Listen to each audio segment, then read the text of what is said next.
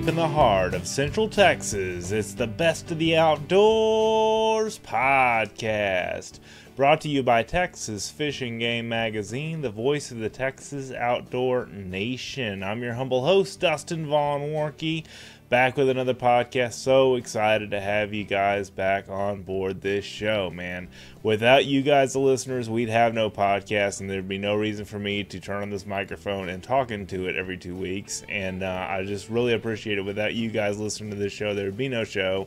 So thank you guys so much for doing so. If you've not done so already, please subscribe to the podcast. It is free. You get it every two weeks uh, right now, and uh, basically it is uh, kind of complimentary of um, your host here, Dustin Vaughn Warncke, and the guests that I have on the show, and Texas Fish and Game Magazine. And it's just more content that we're putting out there in the audio only format, which is becoming ever so more popular as the time goes on, especially with the technology that we have today.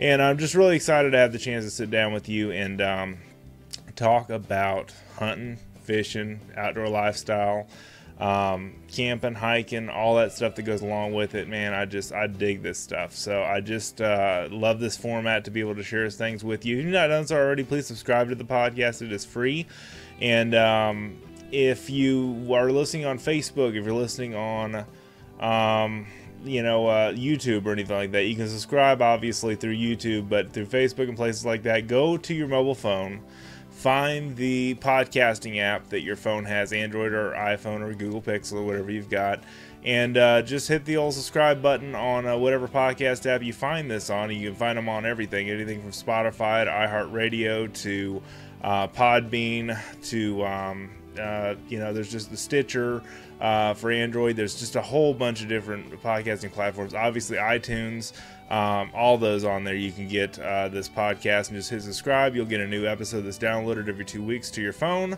like this one was. And uh, just love, love, love to have you guys on board for future shows. And you can go back and listen to previous shows, by the way. If you want to find out what a show is about, just search the title, and most likely the title will have a little bit of everything that's going to be in the show. So I try to keep my titles very, um, you know, to the point and relevant to whatever topic that we're covering. And um, I really think you will find some good information here. I've had some great guests on the show. I've got some great guests planned.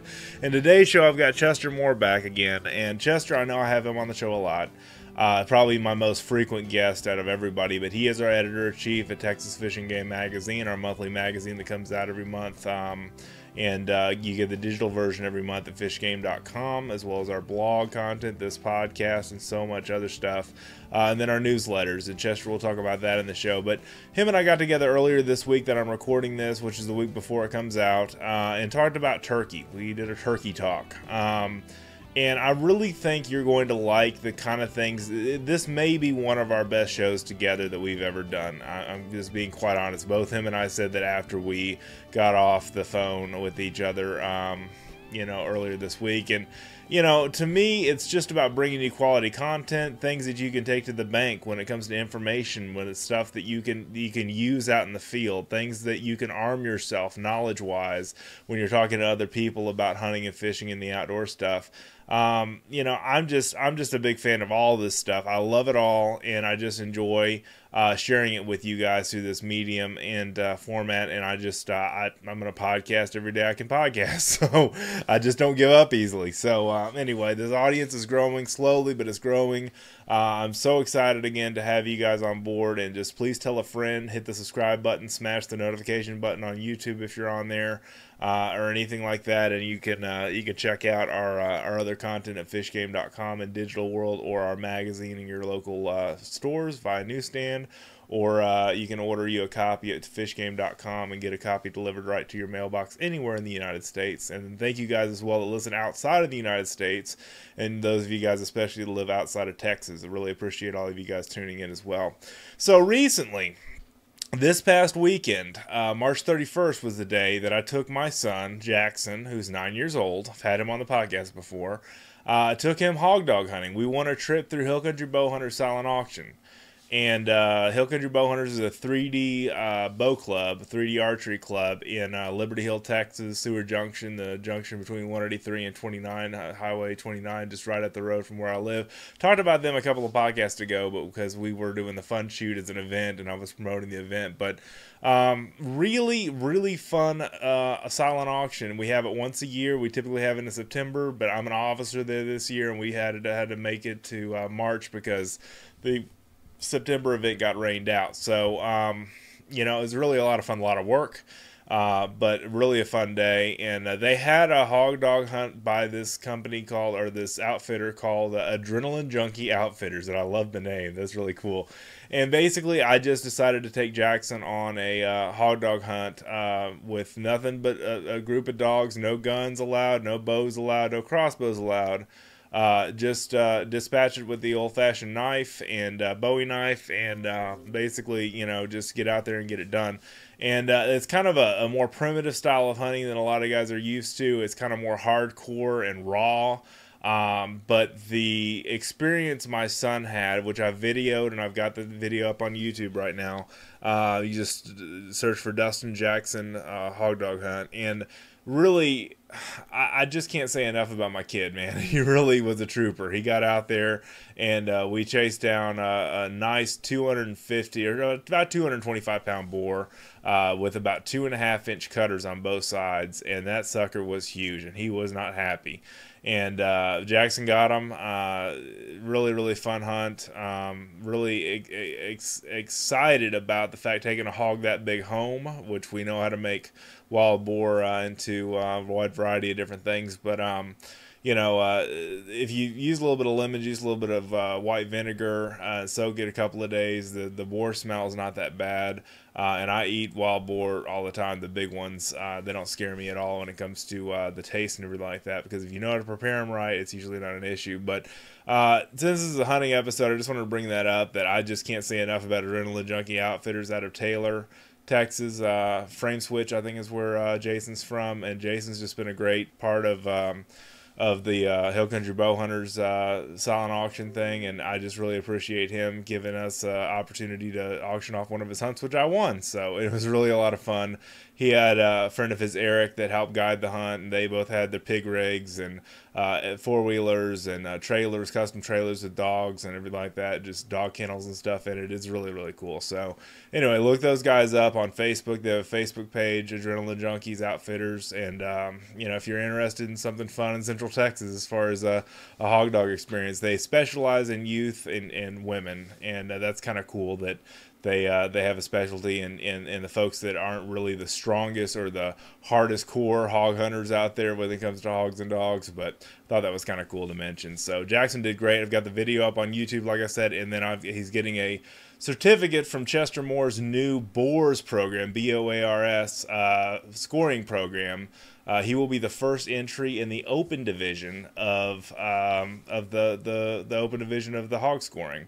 And this boar was uh, I believe two and five eighths inch on one side and two and a half or two and four eighths on the other side as far as inches of that tusk, his bottom tusk. And man, man, that's just I can't believe we got a trophy hog. I'm so excited about that. So this is a lot of fun. All right, uh, before we get too far in the show, let's go to sponsors. And this week we have AccuSharp that is back up sponsoring the podcast again. Thank you, AccuSharp. You guys are awesome. Um, you know, AccuSharp eliminates the guesswork of using stones. I know a lot of you guys grew up using stones. Your dad or grandfather, my dad and grandfather both used stones on both sides of the family. Um, and uh, just three or four strokes with your AccuSharp and you're ready to go it takes the guesswork out of not having to use stones to sharpen and get the right edge and get the right angle or, or honing steel or anything like that. This is just a simple no-brainer way to go. Buy one now at your local hardware store, order online, or buy one at Academy Sports and Outdoors. They carry a full line of AccuSharp products. And um, really, even Ted Nugent raves about the AccuSharp. He says, I run my AccuSharp blade sharpener over my small outdoor edge fillet knife, and all I can say is stand back. It is easy to use, easy to buy, and inexpensive, so inexpensive that you can have nothing to lose. Test it for yourself, sharpening your knife all the way from your kitchen, garage, and kayak, all your knives, Same results every time. Buy one at your local nearest hardware store or order online or buy at Academy Sports and Outdoors, like I said earlier. The neat thing about these is that they're so durable. I've got one that I've had for, I want to say, 14 years, 15 years now, and uh, I'm probably going to replace the carbide. Um, you know the carbide uh, sharpening edges in it and basically uh, you know just keep it going man. I just I, love i love my AccuSharp i've got a blue and white one that my dad gave me originally years and years ago. I've talked about on the podcast. And then um, you know i've got several other AccuSharp products i've had over the years. I love knife sharpeners. I always keep my knife sharp every time i work around. And i tell you what something that can really really dull a knife is a big old hog. And i definitely was using my AccuSharp this past weekend uh, cleaning that big old boar um, so anyway, good stuff. Uh, AccuSharp.com. That's A C C U S H A R P.com forward slash buy dash now, or just AccuSharp.com, and you can click on the outdoor products or the buy now tab, and you can find out where to buy your own sharpener. All right, thank you AccuSharp for sponsoring this podcast. We love you guys. All right, so. Um, this next segment, I'm going to talk a little bit about turkey turkey hunting and, and gun hunting and bow hunting if you're looking for a real um, challenge in the woods as far as it goes, try turkey hunting with a bow or a crossbow because they're a spooky bird. Uh, you know, when it comes to, they're very a wary opponent when it comes to, uh, you know, hunting them in the woods. Uh, I would not recommend hunting with the bow for your first turkey if you're just starting out turkey hunting. I've been at it for years. Um, not killed a ton of turkeys, but um, I uh, I definitely use a shotgun if uh, if I can't use a bow, and um, you know it's just kind of just kind of your preference. But basically, there's a lot of different load manufacturers out there that make shotgun loads for turkey. There's a lot of great gun manufacturers that make three and a half inch magnums. Do you need a three and a half inch magnum to kill a turkey? No but there's a lot of different concepts and, and thoughts and everything behind turkey hunting. There's a huge following, and Chester will talk about that in his part of the show because, man, it's just a crazy thing. But typically, running gun hunting, spot and stalk, uh, spot and call, or not stalk and call is what I'm going to say, and uh, just really having fun um, in the outdoors and in the woods. It is really hunting on foot. It is really hunting on the on the run and on the go. And uh, turns out, as I said on one of the last podcasts, that uh, turkey loads work pretty well on rattlesnakes because we will probably run across a rattlesnake or two as the spring moves on and it gets warmer and uh, they start moving around a little bit more. It was pretty cold this past weekend, and I was out uh, hog hunting with my son, but uh, with dogs. But basically, uh, just just be careful out there. And there's a lot of different, you know uh, things you got to watch out for. One of the things that I watch out for as well in the deep woods is mosquitoes, and I use a Thermacell since turkeys can't smell that that well. And even with deer, I've shot one of the biggest deer in my life uh, with a Thermacell going on 20 yards away from them. And basically, um, you know, Thermacell. I'm not doing a commercial or anything for them, but basically, Thermacell makes the uh, the insect repellent uh, pads that you put on a little warmer that's propane. Um, uh, powered or butane powered. I forget what it is. I think it's propane.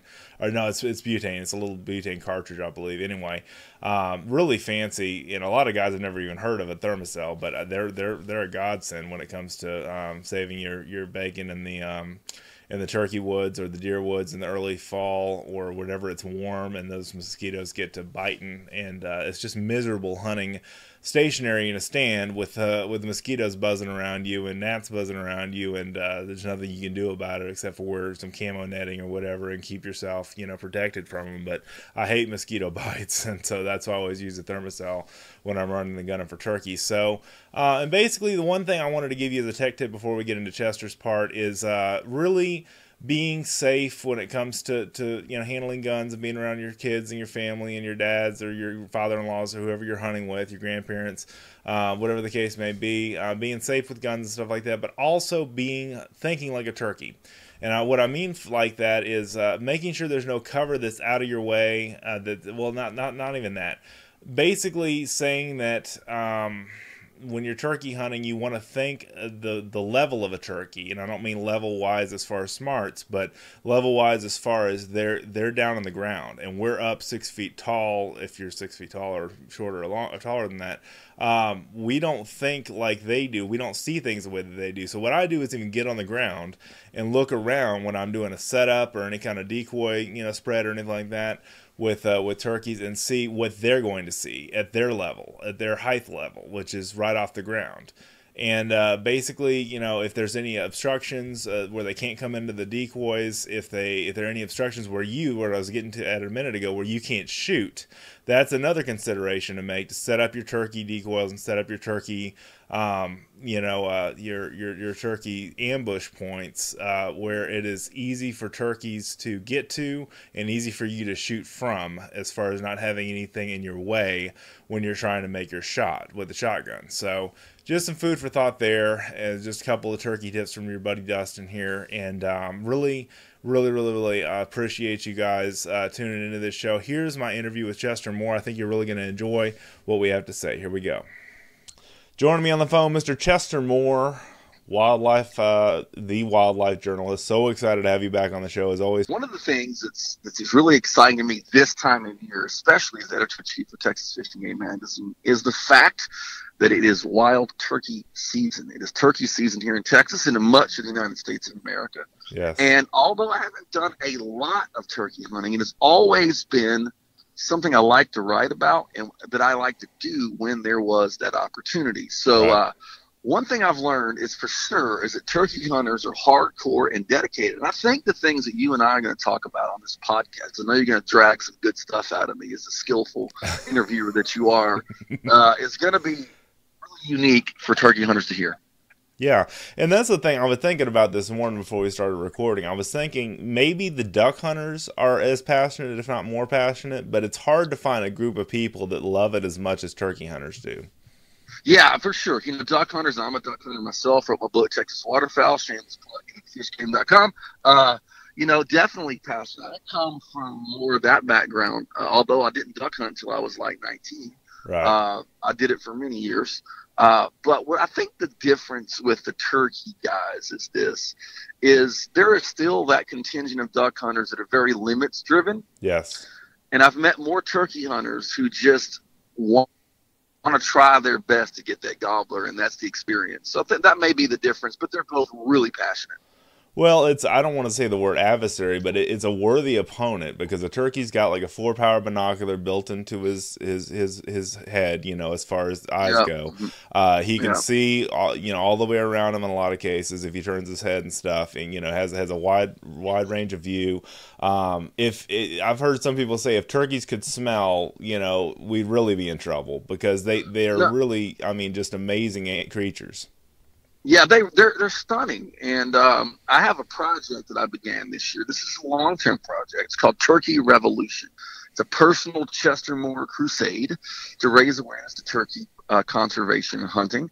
Uh, I'm I'm so thankful that Texas Fish and Game has the Turkey National e newsletter. Started It's a three part newsletter this year, probably going more next year, to help spread the word on turkey conservation. But what I'm doing with the revolution is uh, starting off this year, trying to get like full frame, award winning quality turkey photos of the Grand Slam, which is the Eastern, the Rio Grande, the Merriam's, and the Osceola, all in 2019. Oh goodness.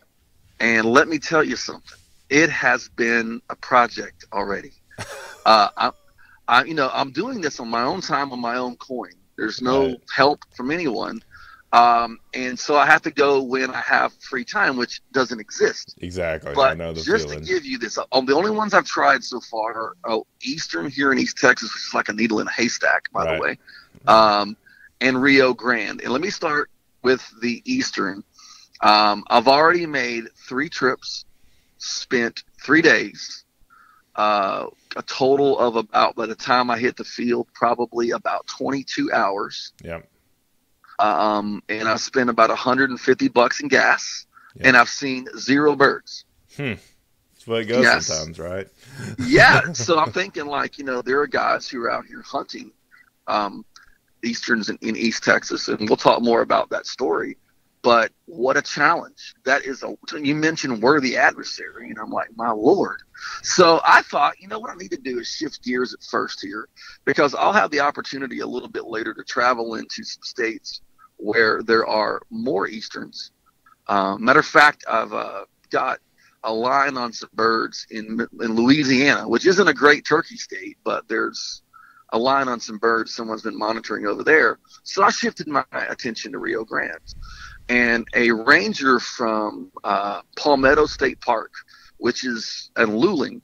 Yeah, I've been there um, before. Yeah, kind of on the fringe of, of the current best Rio Grande range. It's not known as a turkey area, but he said, "Hey, I saw 30 birds crossing the state park road into a field oh, a couple cool. of weeks ago. We see birds fairly frequently. So I was on a trip to go to Buckner uh, Camp Buckner for Buckner Children's Village, doing some ministry work with my animals. Me and my buddy Cole, and uh, I met him out there, and we hit the back roads that lead into the park where there's a lot of creek bottoms and stuff. And I saw one turkey at about 175 yards. it stood there for about one second and boom, it was gone. Yeah. So I thought, well, driving between Luling and Marble Falls in the afternoon, there ought to be opportunities to find turkeys out in the fields.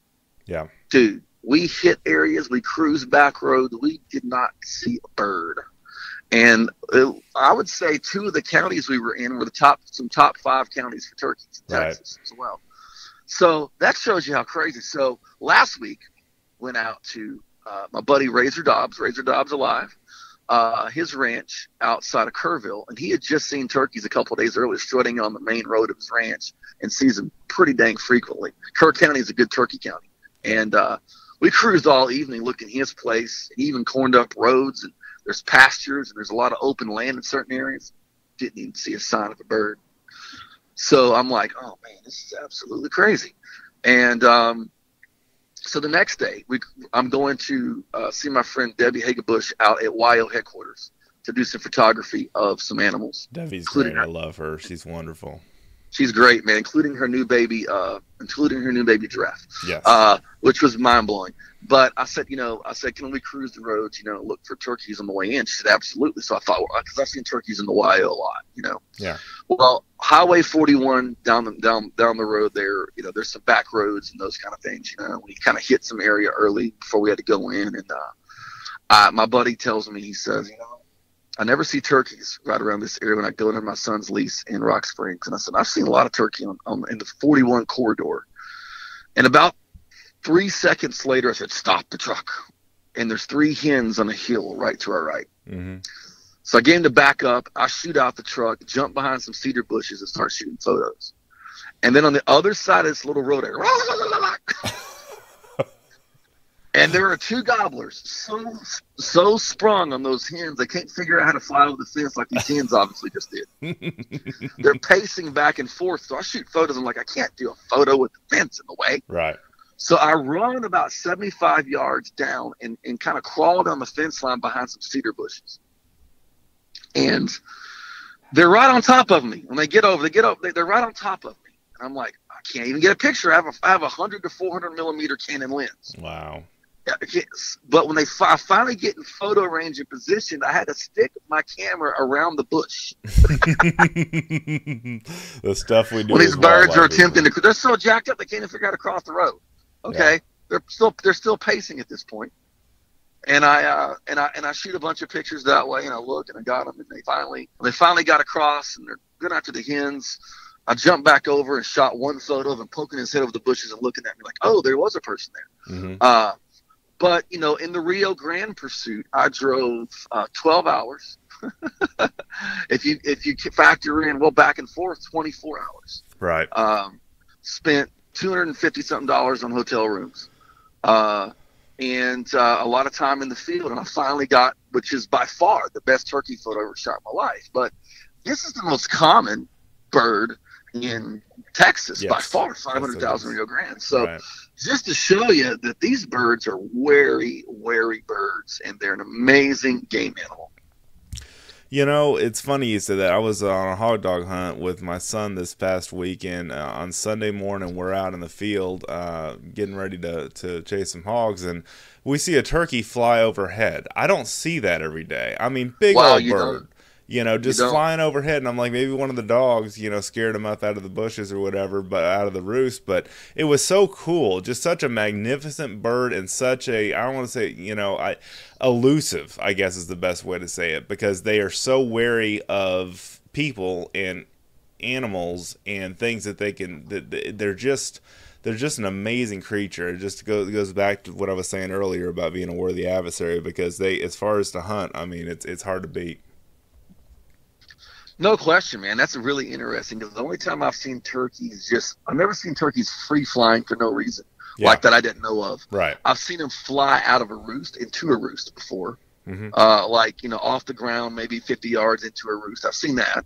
Um, This one I've was booking turkeys- it, dude. I mean, he was. Was it a gobbler? It was a Was a gobbler, gobbler? too. Yeah, absolutely. pull, should shot Exactly. exactly. I didn't have my shotgun with me. I was like, that would be cool. Opportunity to shoot a turkey in the air, right? you don't hear of that every day, right? No, man, that would have been the truth. You'd have had to get him in full body flying. Right, sure. right, exactly. Full body flying mount, exactly. Yeah. anyway, That's nuts, man. yeah, that's crazy. But um, so as far as turkey hunting tactics, obviously, you know, we're talking full camouflage. We're talking, um, you know, run and gun. You know, for the most part, as far as and that's what I was going to talk about if I did the show by myself is just uh, you know how to hunt them on the move and how to how to kind of shot gobble when you start out, how to do a locator call, and and you know then how to call them in. Um, you know, what are your what are your turkey tactics, Chester? Well, man, I am not like an expert call guy, but I'm pretty good with a you know a slate call. Yeah. You know, and I use a um, can box get- call, but yeah, I know yeah, what you're you know, or a box call. I can do both. You know what I mean? And uh, I can actually do a pretty good hen yelp with my mouth right, and an okay gobble, Mhm. uh, uh, depending on how my if my throat's clear that morning. right, right, right, right. And yeah. uh, the, the Texas pollen isn't kicking my butt Yeah, here like too. right now. right but, next door to uh, an oak tree, man. I know what you're feeling. So, Yeah, it's yeah. insanity, man. It's like yellow over here. It looks like sulfur. My wife calls it hell. yellow death, you know. So That's nuts, man. Anyway. But that's that's part of the experience group and fighting on those elements, you know. And right, when I the biggest bird I killed was a 26 pound Rio with a 10 inch beard down in Brackettville. wow, Uh, it was incredible. It was my buddy Lou Marullo, who is the hunting editor for, editor for Texas Fish Game. As a matter of fact, I'm working on booking my flight today to go to uh, New York to hunt eastern birds with him. Sweet. So really excited about doing that deal. There's a lot of easterns up there. That'll be my second bird of the Grand Slam on uh, with the shotgun. Mhm. Uh, killed a bird with the bow before down on the King Ranch in about 1995 or six, and um, you know they're a they're a cool bird. But see, the, the kind of what I've done, like a, a duck call, I, I hunt with guys who are incredible callers, and I've noticed that a lot of times callings in, in pressured areas has limited success. yes, Uh, I'm all about location, location, location, and setup. hmm So, what I like to do is I like to really scout an area and find where the birds have been out there strutting, where there's a lot of lot of bird activity. If I don't see gobblers, that's fine this time of year. If I find hens, good because the gobblers going to be where the hens are. yes, Kind of like a buck in the rut. You find the does, you find a high traffic area. There's going to be bucks during the rut period, right? absolutely. Uh, and one of the things I like to do is uh, like to utilize as much natural cover as possible. I use pop-up blinds. The first one I ever used years ago was a double bull. Yep. Now, now you take a pop-up blind and put it in the edge of a field with no, with you know, uh, for a whitetail, they're gonna look at you like you're an idiot. Yeah. You put a pop-up blind, a turkey will strut three feet in front of it. right, It's Sure. unbelievable. It's like a weakness to them. But the key is being camouflaged. So something we developed a few years back is what I call hunting like a ninja. There's Yep. a story for this for Texas Fish and Game like an 05. I know. I've written about it too. I've written about it because I've read your stories on. Yeah, so Like in the inside the blind's black, right? So I wear all black. I wear a black I wear a black mask and I paint around my eyes and everything black Uh-huh. black gloves. And essentially with you know your your bows or your bow or shotgun's only gonna be up there just a second, right? right, uh, it renders you pretty much invisible to the turkey when you're in there. And the whole thing, in my opinion, is number two, you got to be quiet because turkey can hear pretty dang good too. Uh, but you just got to remain invisible to the bird. And it's all me about finding those transition zones. You know, I found that gobblers, when they're like the ones I just encountered in Kerr County, when they're really hung up, man, they're gonna they're gonna act kind of stupid. And that's your one moment to get shot. But if they're on the fringe, they're just now coming into being ready to go, or they're suspicious or something like that. I like to find that I got a spot right in that open area where the hens are going to be feeding, but I like to hang close to a really, uh, I'm not going to say a super thicket like like a thorny thicket, but a spot where there's brush right, The spot there's enough brush that bird can slip into real easy. And he'll feel safe. Because I've seen gobblers come in and out. They'll just boom, boom, boom, something ain't right. And then they'll finally finally come in. You know, so uh, it's about those strategic locations. You know, if you're hunting a Rio Grande, Rio Grande's pretty much roost the same spot every night or in the same general area. Eastern birds will you got to you got to kind of like uh, call putting them to bed. Yeah. You literally have to go finding where they're roosting the night before and then set your calls, decoys, and hunts up in an area you think is going to be productive, where they can hear the calls, etc., or where they've been somewhere in the vicinity of that roost. Not too close, but close to the roost, because they may pack up and be a mile away the next day. Yes. So it's different. It's only two birds, only two subspecies I've hunted, but those are the differences in those birds, you know, and um, it's about to me locating whatever food source they're on. Like right now, I'm, the people in Louisiana have these easterns. There's still some acorns in this one particular area, and they're coming out into the edge of this nature trail, and uh, it's on a, on a, on a person's property, and uh, they were getting these pictures every day and sending them to me. And I said, "Are you feeding or something?" Go, no, no, they're just acorns that are still in this one spot that aren't that aren't rotten, and uh, so it's locating those those those those feed opportunities those areas where the birds can strut. They like to be out in that open and strut where they can be seen. And I like finding that little tight corner somewhere where there's a little bit of cover those birds can go in and out of, you know, and just sitting and waiting. But it's locating populations of birds. Right. Uh, turkey, you know, you think about wild turkey in Texas, it's a bird. You know, think how many doves there are in Texas. Just like there's millions of doves, right? Right. It's it's really stunning. There's 500,000 turkeys. You got to figure that is scattered from about let's just take Austin on all the way out to El Paso. Yes. Five hundred thousand ain't that many. Right. Uh, it's spread out across in Texas. Yeah. Right. all of it because you got to figure the same amount of habitat for whitetail has four times the whitetail. Yep. That's, That's not true. including the East Texas whitetail. That's so a good point. um, they're they're a little more scattered, and not every area that looks like it's going to have turkeys is going to have. That's one thing I found in the, in this project. Um, I should be able to on my turkey revolution quest get turkeys, get Rio Grande turkeys just outside of Houston, west of Houston, hmm and there are probably a few birds in some of those creek bottoms, but there's nothing really to speak of. I had to travel an additional three plus hour, four hours west to find concentration of birds enough to make my quest successful. So that tells us there are still some real conservation challenges left for turkeys. And really, Dustin, and I've been studying this a while, and this year it just really hit me. Um, actually, this is a funny story. It hit me around Christmas, eating turkey for Christmas dinner, thinking about turkeys yeah. and going, you know, there's just something different about their story. And I did even, did- and, I tell you, Dustin, it's probably the most revealing wildlife conservation story I've heard in North America. Okay. Now, if you look at turkeys, turkeys have always been revered. As a matter of fact, Benjamin Franklin, one of our founding fathers, famously wrote that he didn't think the eagle was a great symbol of America because it was a damn scavenger. Yep. Yep. I've heard But that. the turkey was so wary and so regal and such a uh, you know such an opponent that it was Stoic. better Yeah. rep- representative. And, and while I think I like turkeys a lot, I have to disagree because I don't think the gobbling turkeys are going to scare America's enemies. You know what I mean? Which is a screaming The, eagle. the eagle, however, yeah, it's a different story. It doesn't yeah. quite work, but that shows you that in early Amer- in early colonized America, the Native Americans were already in tap with this. Of course, they they were way ahead of everybody, right? Yeah, sure. But but it was even these aristocratic Europeans looked at the turkey as a symbol. But what happened is, you, you and I both know the sad legacy of unregulated hunting. Right. Um, hunting wasn't in the 1800s a trophy deal, although there was some trophy hunters. It was a it was an eating and a market hunt, Right. and then we brutalized the forest of the South and took out a lot of the great forest, and uh, then we started doing things like controlling fire Right. and fire is vital to turkeys because turkeys don't do good in forest that's too thick. Right. They like to have some thick spots, but they have to have some open forest, like savanna type forest to thrive Right. because predators will kill them. They don't hang good.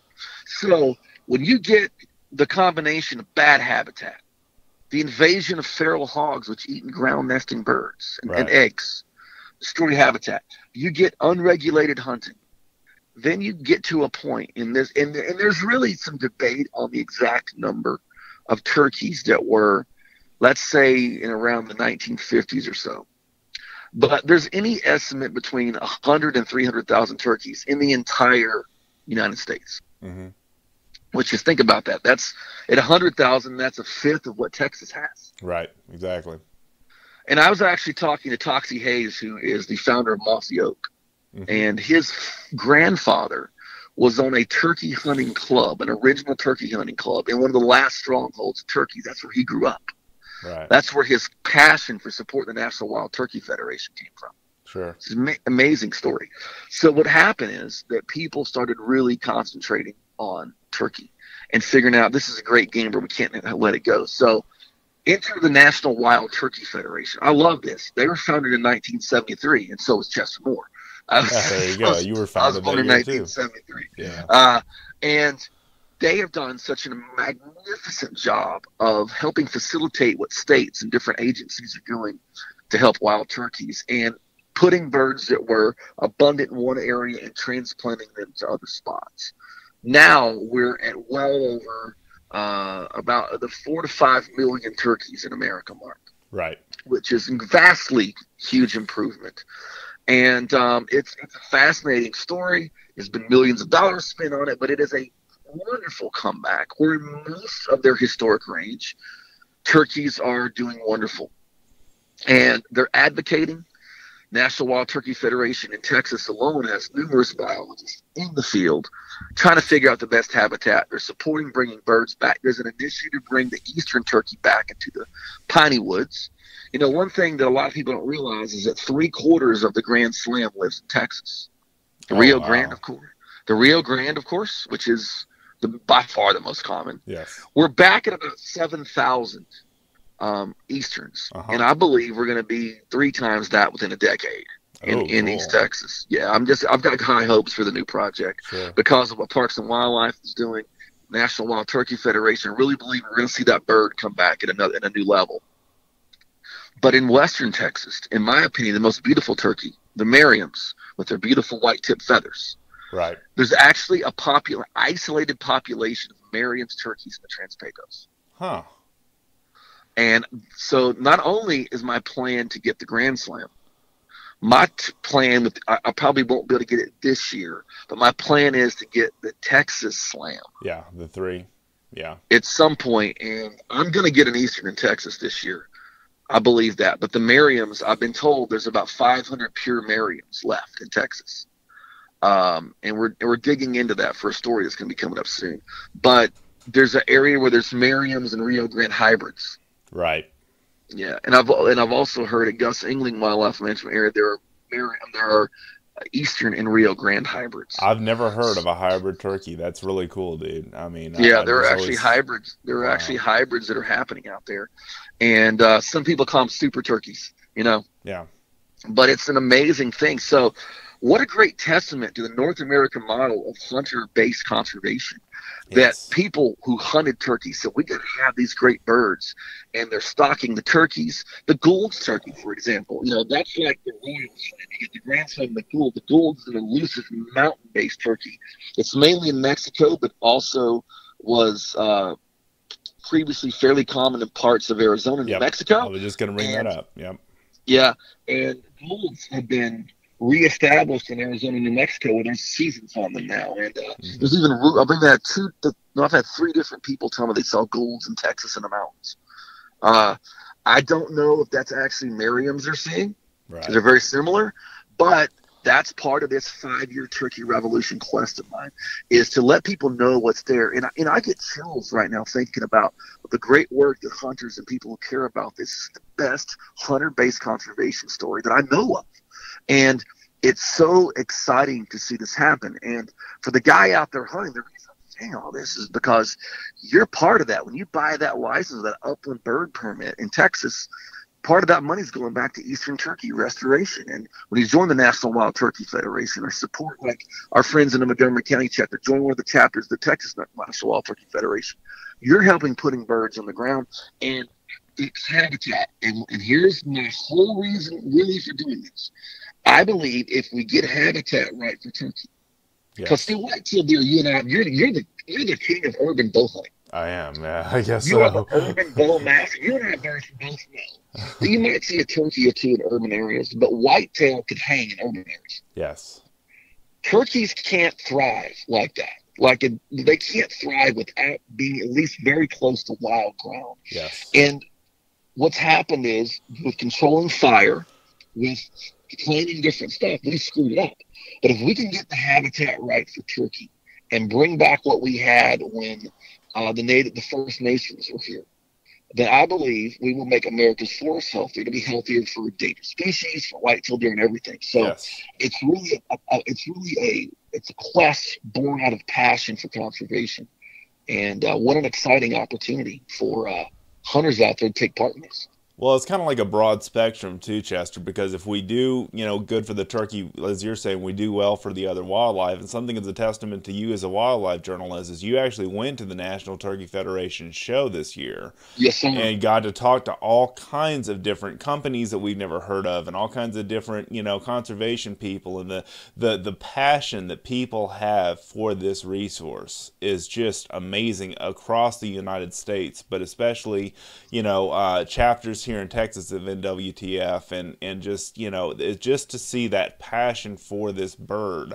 is just such a testament to conservation and just taking care of our resource. Absolutely, man. And that's why in the next five years, in terms of game animals, you know, I have different conservation things that I work on, but in terms of game animals, my number one pursuit is going to be the wild turkey because of what it means for all wildlife Yes. in America. I never looked at it like that before, Chester, because I never looked at it like like being something that's good for everything if you get the turkey thing right, you know. Well, and you, I you mean know, in the you, simple you, you know terms. you know when it hit me. I, I went to, I was already well well down this path, but I went to the National Wild Turkey Federation convention, met a an awesome NWTF biologist and specialist, Annie Farrell, and uh, Annie was talking to me about how fire. You know, I knew fire was, was a factor, and uh, and we were talking about the Angelina National Forest Yes. and uh and I'm like, oh my God, there's controlled fires. They're everywhere. That makes sense. Why there's Turkey. That's the area closest to me that's known to have easterns. Uh-huh. And I went a couple of days later, getting back and sat there looking for turkeys. I didn't see turkeys, but I saw signs everywhere that said National Wild Turkey Federation, Texas Parks and Wildlife, no hunting in this part of the national forest. It's an area that the the, the feds and the state have designated no hunting because it's a stronghold of stalking. It's like an area they can move out from there, right? Right. and I'm looking at this beautiful habitat that looks drastically different what's five miles down the road because it's been managed. And then I saw the other abundant wildlife there, and I'm going, man, if we get turkeys right, we can get a lot of this stuff right. It's about fixing the habitat, Right. and uh, it's incredible. You mentioned um, not knowing about the hybrids, which is to me was fascinating to discover myself. Yes. What about the white turkeys that we ran in the in the Turkey National newsletter? Yes. By the way, if you don't subscribe to Texas Fish and Game's e-newsletter, you're missing out. You need And to go to fishgame.com, sign up for the e-newsletter. You'll get the turkey. Next Turkey National comes out comes out Friday. Well, the one you'll probably get by the time you hear this show will be out on the, I believe, the second Friday in uh, April, third Friday in April, and uh, it's it's good stuff. But we have a story on the white turkeys. And we had a reader of Texas Fish and Game send a picture of a white Rio Grande with another Rio Grande and a turkey in Johnson City. Mm-hmm. And I went to the NWTF convention, and there's a mounted Osceola in a smoke phase, which Yes. is, you know, uh, which is incredible. You know, um, uh, it's uh, it, it's incredible to see any of these morphs. Like if you see something like that, that really catches your attention, right? You know, and Flambeau have out that uh, that Smoky Baby, which is Uh-huh. their their their decoy because you know what, what I've what I've learned in nature is anything that in a species is different is absolutely uh, beat down or attacked by other species. I saw one time on a ranch a bison get shot, and the other bison attacked it when it was shot. Oh wow. I have a friend of mine's ranch, and he has there's some free ranging turkeys that don't know if they're domestic, wild, or in between, right?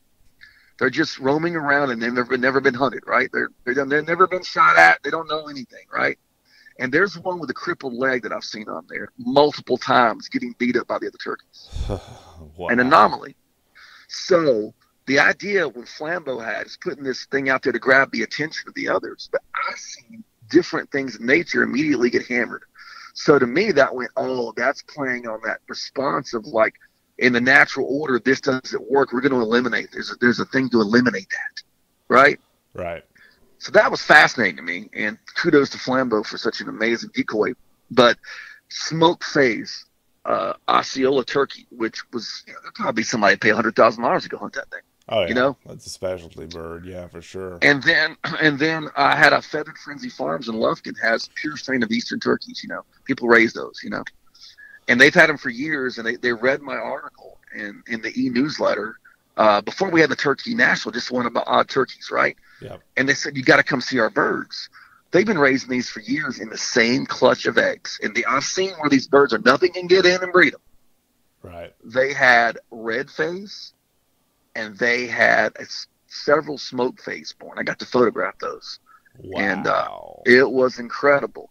And I was so excited to see that. And so I did some digging. And what biologists are saying now is that look at domestic. See, turkeys haven't been domesticated that long. right. You know, they're talking about this European domesticated turkeys. Yeah, when the settlers came and got turkeys from America and brought them to Europe. Right. Right? Right. So anything you see color wise in a domestic breed, whether it's our famous bourbon red, whether it's a royal palm, which is white and black, can be possibly in the genetics of the wild turkey. Interesting. So, Yeah, so uh, it's it's a really really cool thing, and I've had so many people excited about it and stuff like that, and that's why I'm so honored and privileged to be editor in chief of Texas Fish and Game. So when Chester Moore has a crazy idea to sport turkeys, they're they're throwing the newsletter out, and uh, but it's it's a good thing, and there's so much of a story to be told because now I'm trying to get my Grand Slam. Right.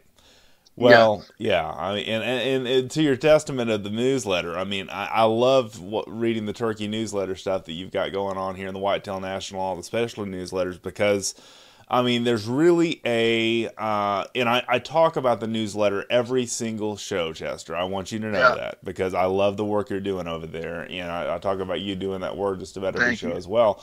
But, but, but it's just, it's stuff you don't see everywhere. It's, it's stuff that's unique content that you're not going to run across in just any other publication, you know? No, I and we're yeah. and I, can, I, can I give a teaser for Sure, something? sure, sure. I'm ready. When we bring the Whitetail National back in September, I've got something on whitetail that's going to blow people's minds. I love it. and it's kind of related to what we're talking about with turkey and different turkeys and stuff. It's so cool, and uh, that's going to come up in April, and it involves kinds of whitetails you've never heard of. Oh, I love it. Yeah, yeah, yeah. So fun stuff, man. But you know, the Grand Slam, you know, the Osceola only in basically below, basically considered pure Osceola below Tallahassee in Florida. Yes. Anything up there is either a hybrid or in the northern Florida or just a pure eastern. The Merriams, I mean, well, God, what a beautiful bird. And we have a few of those in West Texas that goes up from uh, Nebraska, part of Nebraska. Nebraska has easterns, same thing we had. Nebraska has Rio Grande Eastern and Osceola. Uh, I mean, in Osceola, I'm sorry, Merriams. And you got all the all the western states. But you know, there's been Rio Grande years ago stocked in a lot of western states. hmm There are Rio Grandes in Hawaii. Oh, wow. I did not know that. That's cool. So there are wild turkeys now in Hawaii. That's awesome. yeah, yeah. I mean, just crazy, crazy stuff, man. And uh, and, and just you know what a what a great challenge. Uh, my goal is to get the Grand Slam, and uh, my goal the first go around is I'm going to get it with shotgun, hmm and then my second round is going to be with a bow only, Oh, cool. That's good. and that's kind of my goal. I, I've already got my Rio. I'll get hopefully I'll get an Eastern this year, and then next year we're going to work on a Merriam's and an Osceola. Uh, and uh, may, maybe I'll get my Eastern and my Rio next year with the bow and kind of have both going. You know what I mean? But uh, I gotta I gotta give a buddy of mine a plug. My buddy Matt Otten, Otten Brothers Taxidermy, is uh, working on some turkey stuff for me, and he's just doing some killer killer stuff out there in Boerne with uh, birds and, and stuff like that. And uh, me and him are kind of collaborating on some crazy turkey projects to raise awareness to conservation through taxidermy too. So that'd be kind of cool. You know? No, that's great. Uh, and and another turkey story for you, real quick. When I was hunting at uh, place that I hunt at deer at in Mason this year, I was hunt or last year I was hunting with a gentleman that uh, that owns that property out there, and he is just a master turkey hunter. And so we hunted all weekend, two different properties in Mason and Brady.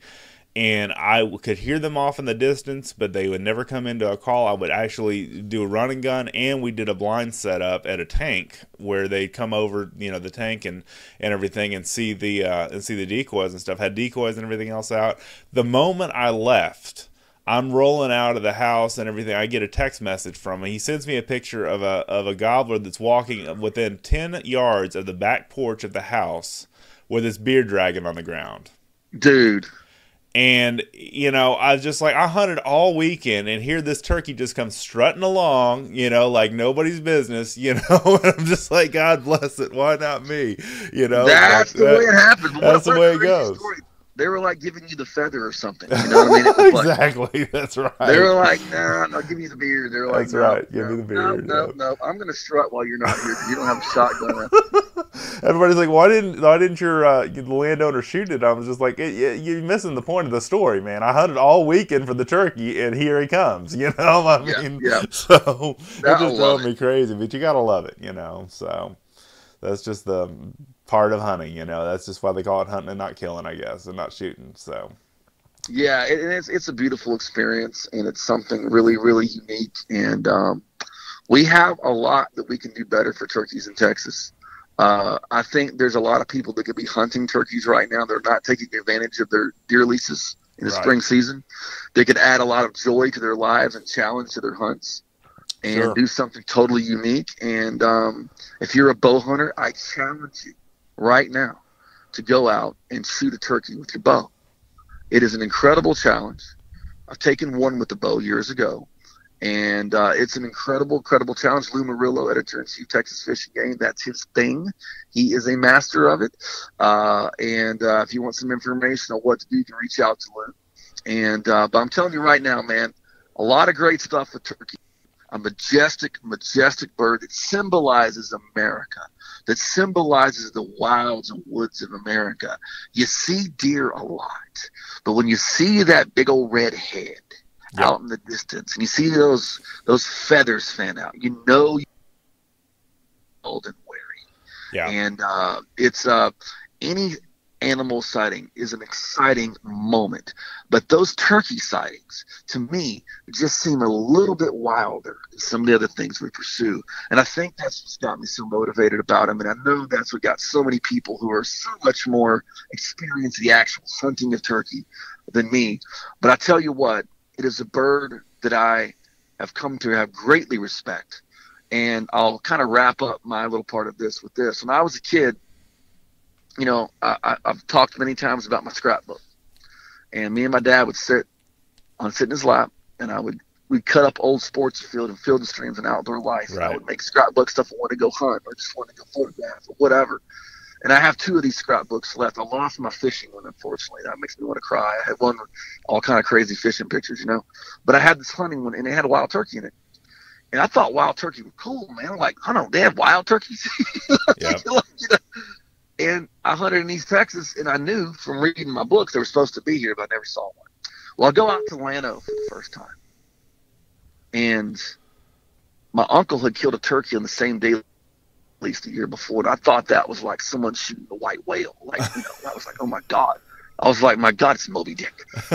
and I saw turkeys for the first time, and I went, wow, there actually are wild turkeys. Right. Right. They're they're really they're really wild birds. How cool is that? I never shot at one until years later. Uh, I was only 12 at the time, but I saw them. And I come back to East Texas and I looked at my own forest and go, why aren't they here? And then I, at that time, Parks and Wildlife was doing their initial stocking of eastern birds, and it gave me hope that yeah. one day we would have those birds here. Mm-hmm. And there were some problems with turkeys since then, and I think they're fixing some of that. They're learning more. But I think that if we can all get back to that feeling the 12 year old me had when he saw that turkey for the first time, oh yeah, I think we'll be better sportsmen, appreciate our resources, and appreciate the sacred time we spend in God's outdoors.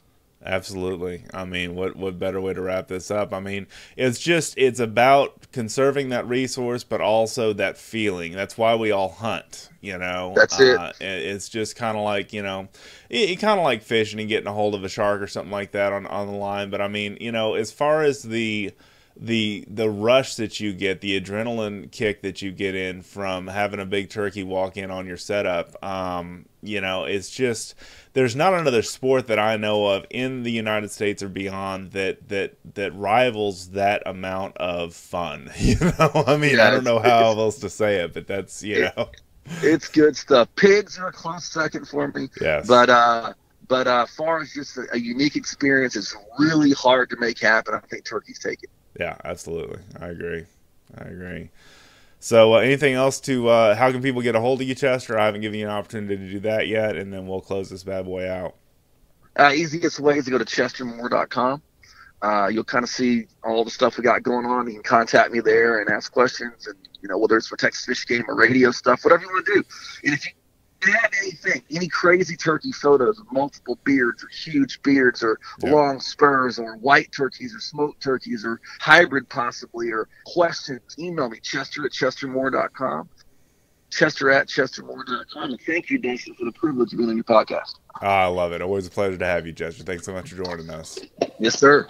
And there he goes, ladies and gentlemen. Mr. Chester Moore, Kingdom Zoo Wildlife Center, and uh, uh, editor in chief, Texas Fish and Game, just an incredible, incredible guy. I just love having this guy on the show, and uh, every time we get together, it's kind of like reunited, and it feels so good. No, I'm just kidding. Um, but basically, we, we, we really enjoy each other's company and, and seeing each other at these shows, and uh, just talking to each other on the phone, you know, a few times a week. Uh, Chester and I really, really have a great relationship as far as uh, editor and and uh, an associate publisher in my case go, um, but just really a good work relationship and a, and a good, um, you know, friendship as well. So I really have a lot of good things to say about him. Love the heart on that guy. He really has a heart for conservation and I love the um, passions that he has in life. It's not just about catching and killing for him, it's about wildlife preservation and uh, the youth and the next generation that's inheriting all this stuff. And man, that just that is right up my wheelhouse. Kind of like the deal we did on the last podcast where we talked about uh, coastal brigades and Texas brigades and the the different wildlife things that they do, conservation they do with teenagers from you know 13 to 17 years old. And man, that just that stuff just makes my socks go up and down. I love it. All right, so thank you guys so much for uh, tuning in, and please, please, if you've not done so already, subscribe to our newsletters. They are free, and you get a new one every Tuesday, Wednesday, and Thursday. You have Tactical and Practical Tuesday, you have Wildlife Wednesday, and you have Thursday, the Texas State of the Outdoor Nation. Plus, you have bonus newsletters like the Whitetail National and the um, the uh, Turkey National, I believe, is what the Turkey one's called. I may be wrong, but Chester's whole deal is Turkey Revolution, and that's what I've named this podcast today is uh, Turkey Revolution because it is really a revolution in a lot of different ways of what he's trying to do with the whole conservation element. Because again, like he was saying, if you fix turkeys, you fixed a lot of things. Uh, if you fix the habitat issue for turkeys, if you fix uh, you know, wildlife uh, preservation as far as wildlife um, resource preservation uh, with turkeys. You fixed a lot of things, and man, that just like I said uh, earlier in the show, this is just one of my favorite podcasts with him because we really, really hit it off well, and I, I hope you enjoy this. So thank you so much. Please tell a friend. Please share this podcast on social media if you haven't done so already. It's again free for you to do that, and uh, we'd love to have as many listeners as we can get. I'm just happy to have you guys uh, chiming in and uh, telling a friend. Please also, if you've not done so, go to wherever you have found this podcast, especially if you're on iTunes, if you're on Stitcher, if you're on uh, Spotify, if you're on um, uh, iHeartRadio, any of those, you can rate the podcast in a lot of these platforms. And if you give us a five star rating, more people can find the show about the best of the outdoors and Texas Fish and Game and uh, and learn more about this stuff like you are. Uh, and I hope you're learning a lot because I'm here to teach you as much as I know and as much as the guests that I bring to the show know. And I just, I'm fascinated about the outdoor stuff, guys. I know some of you guys are too, which is why you listen. Uh, and I appreciate that so much. Each and every one of you guys that tune into this podcast, you, y'all mean the world to me. And I mean that from the bottom of my heart. I really do. So thank you guys so much for watching, reading, and listening. Have an awesome day in the outdoors. We'll see you next time.